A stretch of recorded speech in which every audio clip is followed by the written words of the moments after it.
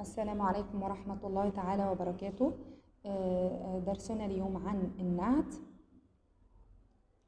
والنعت هو تابع يذكر ليوضح صفة من صفات المنعوت ويطابقه في إعرابه رفعا ونصبا وجرا النعت آه، تابع يتبع ما قبله في الإعراب. لابد إن هو يأخذ حكم الاسم قبله سواء كان رفعا أو نصبا أو جرا. مثال جاء الطالب الناجح. كلمة الناجح نعت مرفوع وعلامة رفعه. الضمة وهي تبعت ما قبلها. كلمة الطالب تبعتها في الإعراب. فكلمة الطالب هنا فاعل مرفوع وعلامة رفعه الضمة. إذا كلمة الناجح نعت مرفوع وعلامة رفعه الضمة وكلمة الناجح أوضحت صفة النجاح في كلمة الطالب.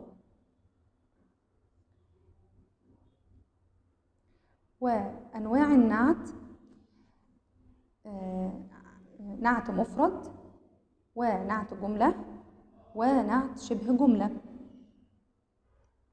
النعت المفرد مفهوم النعت المفرد هو ليس جملة ولا شبه جملة.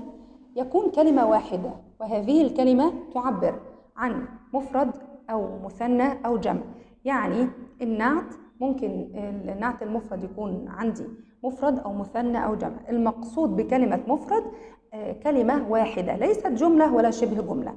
والنعت المفرد يطابق المنعوت في عدة أشياء منها النوع والعدد والتعريف والتنكير. النوع بمعنى لو المنعوت مذكر النعت يكون مذكر ولو المنعوت مؤنث النعت يكون مؤنث. والعدد بيطابق الاسم قبله في أنه مفرد أو مثنى أو جمع.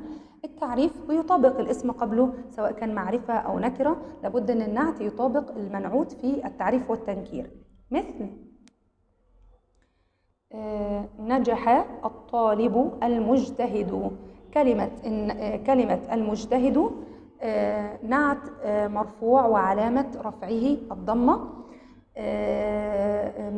وهنا هي تبعت كلمة الطالب في الإعراب وتبعت المجتهد والطالب يتطابقان في أنهما مفرد.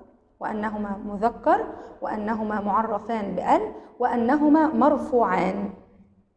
ثم مثال آخر سلمت على طلاب مجتهدين. النعت هنا كلمة مجتهدين والمنعوت كلمة طلاب والنعت والمنعوت يتطابقان في أيضا النكرة في أنهما نكرتين وأنهما مجرورين وأنهما مذكرين ويأخذ الحكم الإعرابي هو مجرور كلمة مجتهدين مجرور وعلامة جره الياء وكلمة طلاب مجرور اسم مجرور وعلامة جره الكسرة. كلمة مجتهدين هنا تبعت الحكم الإعرابي لكلمة طلاب وليس العلامة الإعرابية. ثم النوع الثاني النعت الجملة. النعت الجملة هو ما كانت جملة اسمية أو فعلية ولابد أن الجملة الإسمية أو أو الفعلية تقع بعد اسم نكرة والاسم النكرة يكون هو المنعوت. بمعنى أن أنا أبحث في القطعة عن كلمة نكرة وأبحث بعدها عن جملة إسمية أو فعلية تكون هي في محل النعت. لابد أن يشتمل النعت الجملة على ضمير. هذا الضمير بيعود على المنعوت وأيضا يطابقه في العدد والنوع. وهذه الجملة موقعها الإعرابي بتكون جملة اسمية أو فعلية في محل رفع أو نصب أو جر. نعت تبعا لإعراب المنعوت قبله. الجملة بتكون ليست مرفوعة أو منصوبة أو مجرورة مثل النعت المفرد ولكن بتكون في محل رفع أو نصب أو جر. مثال شاهدت طائرا ريشه جميل. الكلمة كلمة المنعوت طائرا. هي كلمة نكرة وتبعها وأتى بعدها كلمة ريشه جميل. هي جملة اسمية في محل نصب نعت.